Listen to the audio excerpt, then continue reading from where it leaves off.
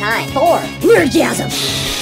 Hey, what's up guys? Jerry here, aka Barnacules, and today I'm gonna show you how to 3D print this little guy right here. This is a 50 caliber rifle cartridge that's been scaled up by 350% because I wanted to test printing something really tall on my newest 3D printer. It's a SeeMeCNC Rostock Max V2 Custom that it was customized for me to print up to 30 inches tall. So this is just our first test. We can go a lot taller than this. Also as a special treat, my good friend Rob, otherwise known as Darth Darth Tigger 501 over on Twitter offered to take this big blue plastic bullet and finish it and make it look like a real one. Also, today's video is brought to you by Squarespace. If you're unfamiliar with Squarespace, they're a service that gets you up and running quickly with your own web page, blog, or e-commerce site. You start by selecting one of their many templates and then modifying it to your heart's content to get exactly what you want. Now, you don't need any prior software development or web development experience to use them. They are very user-friendly. I've been using them for two years now to run my shop shop.barnnerd.com site and they give me my monthly statistics, analytic data, and they show me my inventory and help me get data for my taxes at the end of the year. If you guys would like to try out Squarespace, head over to squarespace.com forward slash barnacules and make sure you use code barnacules at checkout to get 10% off your first purchase. All right, so the first thing you're going to want to do is head on over to Thingiverse so we can pick up the 3D model. And right now I'm using a web browser called Vivaldi. If you guys don't recognize it, it's an open source web browser that uh, I don't really have any feelings about just yet, but I'll get back to you on that. You're going to want to navigate over to the Soviet 50 cal 12.7 by 108 millimeter 3D model created by 3D printer net.co.nz. Yes, they managed to get their entire URL into their name on Thingiverse. That's actually pretty clever. Now, if we scroll down, we can see there's pictures for a couple of different models. There's one that doesn't have markings on it. This is going to be the one we're 3D printing, and you can see it was actually modeled from the dimensions of an actual round. Now, if you scroll down, you can see I already created this. Obviously, I'm making the video on it right now, and I went to Thingiverse and actually registered that I made it to the original person that created this because I thought they might want to see what it looks like, you know, scaled up 350%. If you guys 3D print one, please register the make so I can see what you guys came up with. All right, let's go ahead and download this thing. Okay, so now we're gonna open up the slicer. This is the Cura software that I have right here, and I had to manually go in and configure it for the Rostock Max V2 printer because it's not one of the default printers in this software. All right, so let's go ahead and drag in the file here. We got the Soviet shell with no logo on it. Now you can clearly see that the shell is upside down, which we don't want to print in that orientation, and it's really small. It's the size of a real 50 caliber shell. So what we're gonna do is we're gonna come down here and rotate the model. We'll go ahead and rotate it 180 degrees. So now it's upright, and then what we're gonna do is scale it up by 3.5 times, roughly 350% actually precisely 350%. Now you can see at this size, we could still print the shell much larger because the build volume on this Rostock is absolutely phenomenal, but we're gonna start out with something that's about half the build height so we don't burn a ton of filament trying to print something that literally takes days to finish. Okay, so for our settings, first we wanna print this in a 0.2 millimeter layer height because doing it at 0.1 is going to take forever. We're gonna go ahead and do a shell thickness of two because we wanna have a pretty thick wall on this. We're gonna do an infill of 20%. Now, honestly, you don't need any infill on this, and I found that out after the thought, but you know, I just wanna go ahead and show you guys what settings I use to print this. We're gonna go ahead and do it at a 70 millimeter a second print speed, and we're gonna use a temperature of 200 C on the hot end. Another thing that you need to be sure of is that your filament diameter is set to 1.75. This is the first printer I have that doesn't use 2.85 millimeter filament. Now, unfortunately, a mistake that I made on this print was I had the nozzle size set to 0.4 millimeters. On the Rostock, by default, it's a 0.5 millimeter nozzle. Now, unfortunately, because I left it at 4 for this particular print, there was some under extrusion, which I'll show you during the printing process. Looks like our estimated print time is 25 hours for this one piece.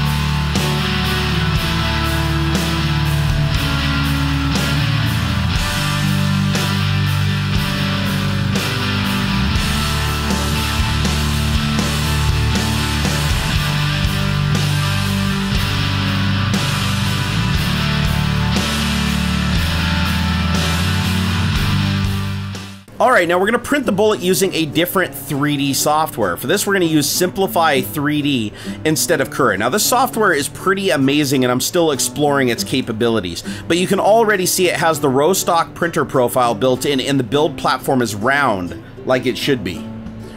Let's go ahead and drag in the bullet. Now we can immediately see that the bullet is in the wrong orientation. So we're gonna double click on it and we're gonna go ahead and rotate it uh, on the x-axis 180 degrees. And now you can see it's underneath the build platform. So we're gonna come over here and click the center and arrange button. That'll put it back up where it's supposed to be. We're gonna double click it again and now we need to scale it up to 350% so it fits our larger uh, shell that we just 3D printed. Now over here on the left we have a panel that lists the processes. So I'm going to double click the process and you can see under here it has my printer profile selected. We want to go ahead and print this in a fast configuration for print quality. We're going to tell it we want to use PLA. We're going to actually use an infill percentage of zero because we want this one to actually be hollow.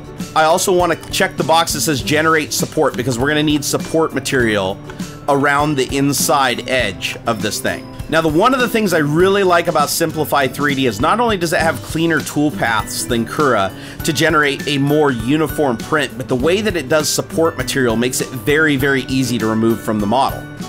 So now I'm gonna go over and click Prepare to Print, and you're gonna see a new UI open up, and it's gonna show you right here, you can see there's a little uh, chart up here saying what the speed will be for each layer. You can see the support material, down below is this nice zigzag pattern that tears away very, very easy. I actually, I, I, really love how this thing does support material. If you're printing really complex objects, Simplify 3D just does an amazing job of it. You can also come down and push the play button down here, and it actually shows you in real time how the printer is going to do, how the printer is going to print your object. You can even speed it up. Um, but you can see, obviously, that's going to take forever. So we can click by layer, and you can see how it's going to build up the layers. It's going to be a hollow object and you can see exactly how everything is done. You can even like change different layers, different areas. This thing's really, really cool. You can even slow it down so you can watch it again layer by layer. And you can see how that support material is just one giant zigzag that cleanly tears away. It's, it's absolutely awesome, guys. So now all we do is get this over to the 3D printer.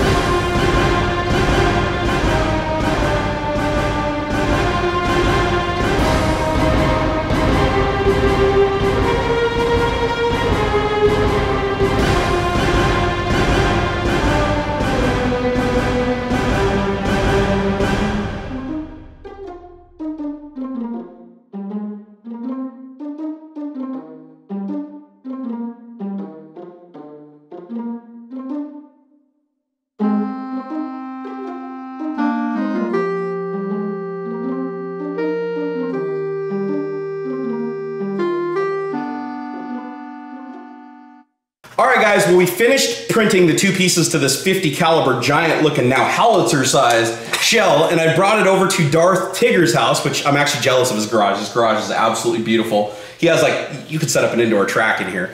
But uh, he's gonna help me take this and sand it down and we're gonna paint it. We're gonna make this part silver, right, the projectile. Yep. And then the casing, what color are we doing this guy? Sort of like a gold brass. So like a gold, we're gonna try to make it look like a little, little bit, little bit brassy. And uh, when we're done, this hopefully will look a lot more like a bullet and less like a dummy test round for a tank. Or a dildo. Or a dildo. Let's get started.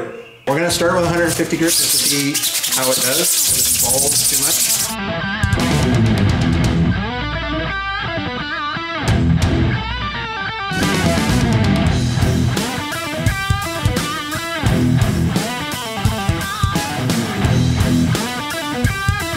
Paint me like one of your French girls.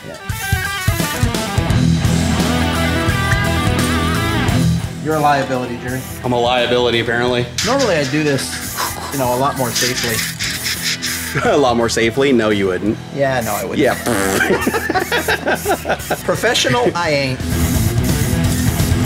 so we just sanded this piece. Now we're gonna apply a little primer on there. Yeah, this is actually primer that I'm planning to sand back off. I'm, uh, I'm only doing this so that I can see uh, how well we've sanded and where the rough spots are. I know what I'm doing. Man, what are your neighbors gonna think of you painting something silver in your backyard that looks like that? I'm starting a new business.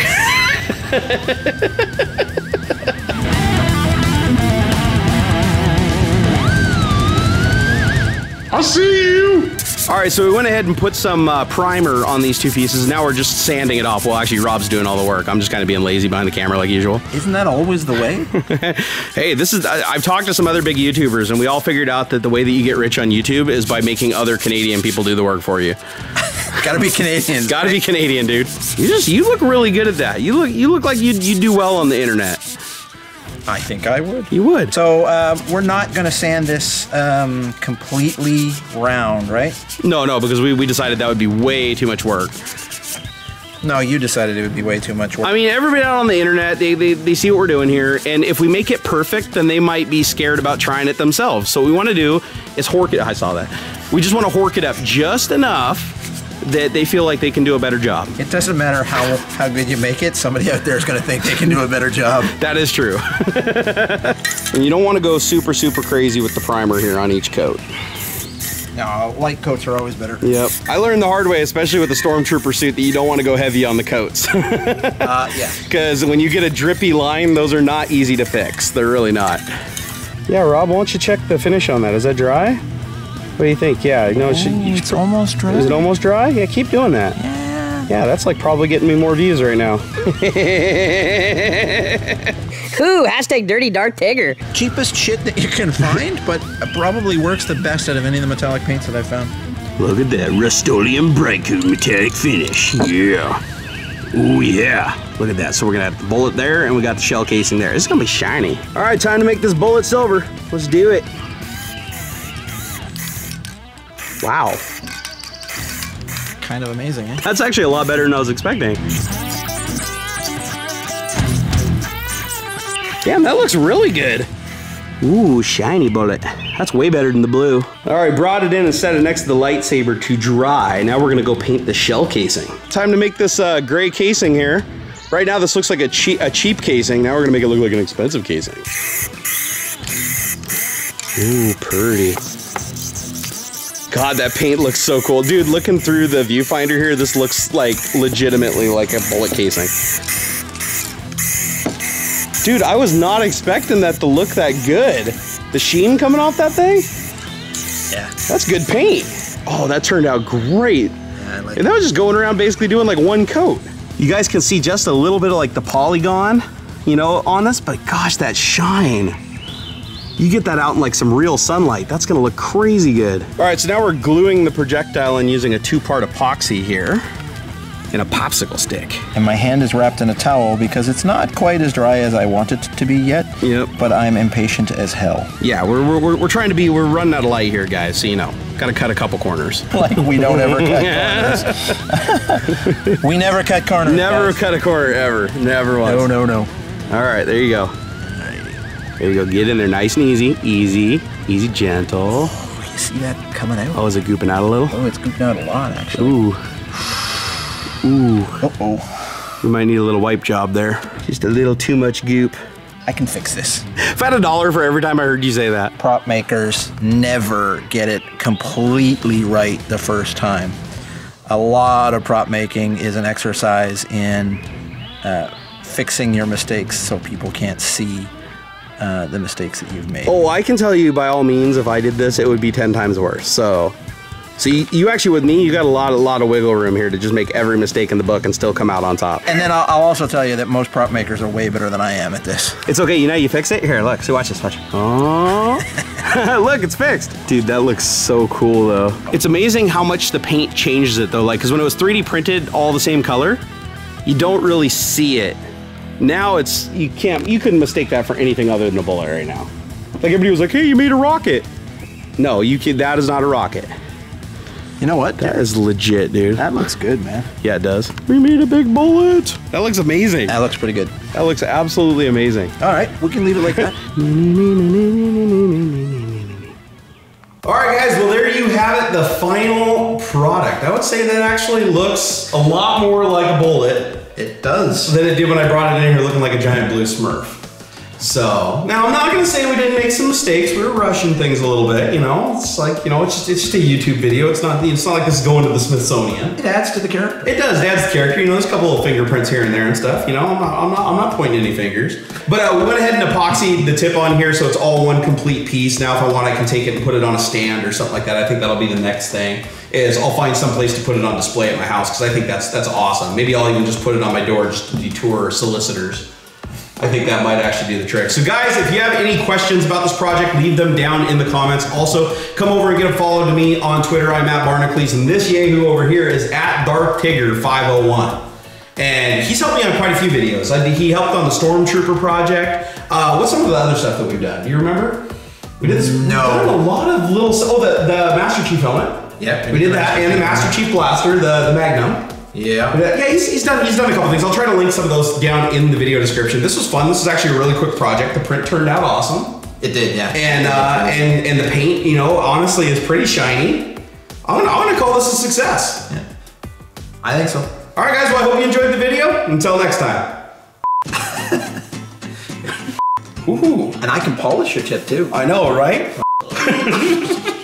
oh, actually, that looks a little tall for you. Here, let me pull that down off the table there, just so you can get a better reach on it. So it's Okay. like. Oh, oh, I'm sorry. I'm not sure that my wife would like um, this kind of money coming in though. What about that kind of money? Well, yeah. Good. Hey guys, I hope you enjoyed this video. Please take a moment and subscribe to my channel. It helps me a lot. Also come over to Twitter. I'm at Barnacules. I'm a real social guy. Also, if you have a couple of minutes, check out some of these many other videos. I made them myself.